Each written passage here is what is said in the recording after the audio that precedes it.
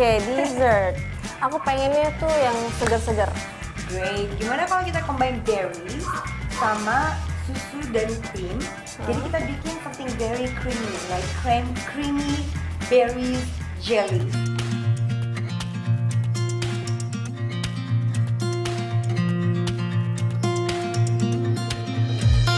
Alright, sekarang kita mulai ya. Jadi ini kita mau bikin simple jelly.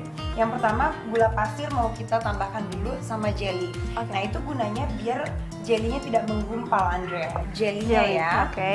Jadi jellynya. oh. Nah di sini nanti kita untuk memasaknya kita Mhm. akan menggunakan T-shape saucepan. Ada glass cover. Glass cover itu artinya tutup kacanya. Mhm. Ini gunanya untuk memudahkan kita melihat tingkat kematangan masakan tanpa membuka tutupnya berulang kali. Jadi kalau misalnya ngerebus sesuatu, tinggal bisa lihat tuh, wow udah mendidih belum, Iya. gitu ya. Tapi ini nanti kita pakainya nanti ya. Kita uh, sekarang Masukin dulu semuanya. Mhm. Masukin dulu semuanya. Ya. Next, kita kan mau bikin yang creamy, Creamy, ya. oke. Jadi kita tambahkan susu cair. Oh, mungkin Anda bisa Oke. yang aduk-aduknya ya. Di sini susu cairnya 400 cc. Terus kita masukin sama 200 cc cream. Jadi kita mau dia extra creamy. Oke, susu campur cream. Iya, creamnya juga kita masukin ya. Oke. ya. Ini kombinasi antara strawberry sama blueberry. Yeah. Pakai kurang lebih 100 gram. Jadi blueberry sama strawberry tinggal kita blender tanpa air ya. Oke. Ya, jadi kita puree seperti ini. Oh, nice. Ya. Biar wangi kita kasih vanilla. Satu sendok teh. Aduk. Oke, sekarang kita bawa ke sini. Andrea. Oke.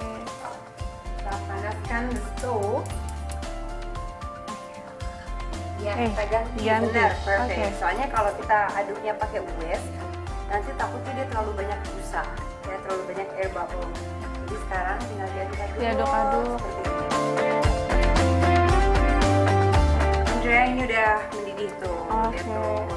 Kalau udah mendidih, tinggal kita matiin. Mhm. Kita bawa ke sini ya. Sebetulnya untuk untuk cetakannya bisa sesuai selera ya. Bisa apa aja ya? Kalau kita pakai gelas kecil-kecil. Nah, Uh. Dan hati-hati ya, ini dia kan masih panas sekali. Jadi em, kalau kena tangan, uh. Nah biar dia lebih cepat Uh-uh. setnya, ini kita simpan di kulkas ya. Kalau kalau masih panas nggak apa-apa langsung masukin kulkas. Ya, no problem. Ka- karena dia uh, kita cuma perlu sampai dia set set aja, Hah? terus baru kita garnish. Ya mungkin enjoy. Andrea ini simpan di kulkas dulu ya. Ya udah, oke aku masukin Oke. dua dulu ya. Iya. Oke. Hai.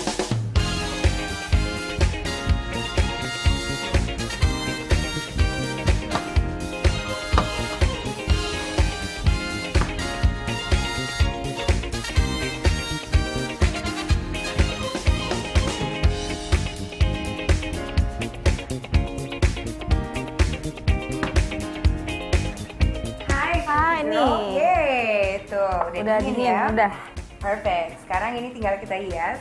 Jadi hiasnya sebetulnya dimakan gini aja it's like Udah really enak ya? Iya, enak Hmm. sebetulnya. Atau kalau mau dibikinin fla juga bisa. Or kita bisa pakai whipped topping. Ini whipped topping yang sudah siap pakai. Jadi kalau beli yang instan tinggal dikocok aja. Terus tinggal kita taruh di atasnya like that. Ya. Yeah. So big. Terus tinggal strawberry. Strawberrynya dipotong-potong gini aja nih Andrea. Kita mau bikin pan namanya. Tuh. Jadi cuma dipotong-potong kecil. Tuh Andrea bisa coba juga sama strawberry. Kalau udah, ini Mhm. tinggal di kayak di giniin tuh, dibikin kipas. Ini kita taruh di sini. Ya. Sama kita kasih beberapa blueberry one two three like that Yeay, jadi yang ini udah siap nih Oke, ini aku coba ya. Mhm. iya tipis-tipis ya. tipis-tipis bener perfect Iya. Ya, terus tinggal kayak dibikin kipas Yeah, kayak gini. Yeah, beautiful. taruh di atas dan Nah, kasih si blueberry. Oke. Oke. Ya. Wih.